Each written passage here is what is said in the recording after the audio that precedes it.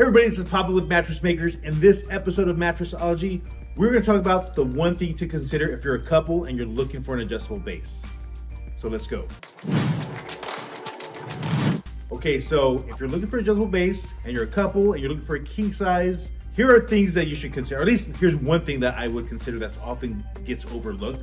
There's a lot of great health benefits on adjustable bases, more than just the TV watching, more than just the reading or playing on your phone. There's a lot of good health benefits that we've talked about in other videos. But the one thing that gets overlooked is, and there's three styles that you can choose when you're looking for an adjustable base. So I'm gonna do this really quick.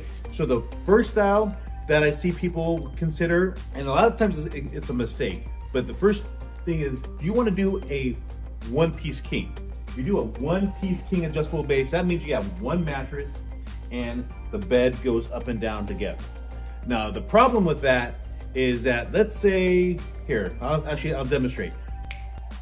Okay, so the problem with that is, let's say we got Mr. Jones has a cold, he needs to sleep elevated, but Mrs. Jones, she wants to be flat. Now, on a one-piece king size, you're stuck. So who wins the remote? You don't want to fight over the remote. The reason why I know this is because I made the same mistake when I first got my adjustable bases about 10 years ago that, and I see this happen with customers all the time, like we get real excited, they got go in zero gravity, they see all these cool benefits with adjustable bases, they get it, but then they fight over the remote. One person wants it up, one person wants it down. Usually in my house, my wife wins the remote battle and I'm at the mercy of my wife. If you're a couple, you're looking at it, I probably would not go with a one piece king size adjustable base. Now, however, one advantage is you don't have a little gap in the middle. Some people don't like the gap, but it is solid.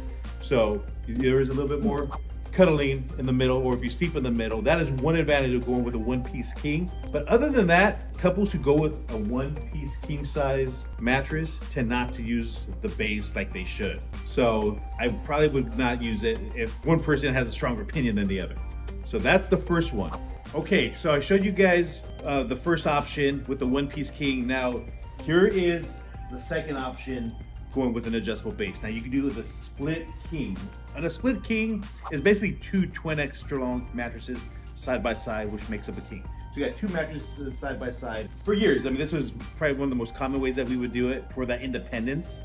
You could control, the good thing is you could control each side independently. So if Mr. Jones, again, has his cold, Mrs. Jones, a little bit less, no, no big deal. They can control their own side. Or let's say Mr. Jones is snoring, he gets Mrs. Jones mad, and Mrs. Jones just wants to put him in the taco position, she could do that too, without affecting her side.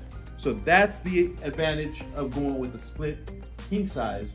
But now here's the disadvantage, and this has come up quite a bit, is people complain about that gap in the middle. If you're a couple that likes to cuddle, that gap can be a hindrance. And that's one thing that was an annoyance for a lot of people is that gap in the middle. So yes, you got the independence, but you had that dang gap in the middle and some people just fall in or the remote would fall between that gap and it was just a pain in the butt. So that was one of the big downsides of going with a split king mattress.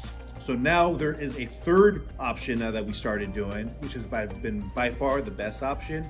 Then let me show you. Okay, so for the third option when it comes to getting the king size adjustable base. And this is by far my favorite option.